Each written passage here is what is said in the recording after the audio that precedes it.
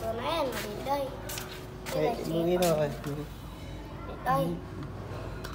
Chỗ à, cái nước này phương pháp thay nước khi trời mưa các bạn ạ. Này khi trời mưa thì cá của chúng ta nước sẽ rất dễ đục và rất dễ bẩn. Bẩn hay còn dễ bị lắc bụng nữa.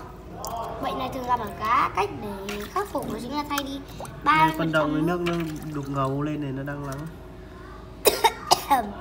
Cặn lên này. Rất nhiều cá cá chân trâu con chân trâu con này lớn chậm lắm vì con choan Dạ, cám. này là được 4 ngày hôm nay là được 4 ngày đúng không? Vâng kể từ cá con hôm nay nó lớn lên một tí. Ừ. bố ạ nó hết cái rũ chân rồi. Con này con chân trâu trắng này đẻ ra một đống trắng tinh thì hay. Kìa con kia màu cam để ra một, Ừ. mấy con màu cam. Để ra một đống màu cam rồi rơi ra màu cam.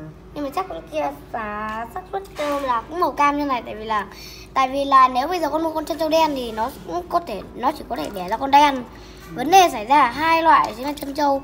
Chân trâu đó chính là nó có thể đẻ ra cá trắng hoặc là cá đen. Được rồi. Nước được rồi. Nước bỏ đi đây vâng. Xem có mốc bị mốc con nào ra đây không? Không. Đây nước thì mốc ra vẫn trong mà cần chỉ thay nhỉ?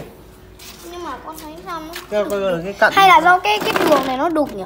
Cái tường ở đấy thôi. Ở cái tường. Nhưng mà trời mưa này con được rồi được rồi múc nhiều quá con cho nhiều cái nước mới nó sốc nước đấy. Vâng. vừa nước thôi. Đấy. này xong mai cho thêm nữa. Xong là mai thế thêm một tí nước nữa là xong. Ừ. cái tường nó đục cái sao? Ừ, được rồi cái cái này để như này được để cho nó thoáng cần gì phải đậy cái kia nữa. Đại không đậy vào xong tối con chuột nó lại ra.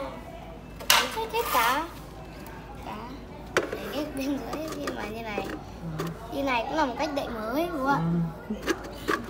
Tuổi nó không vừa. Là bỏ cái kia rồi cái kia.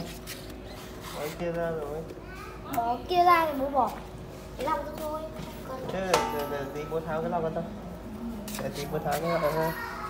Ok bye các bạn nha. Cái lọc này cũng chả cần đúng không ạ? Ừ.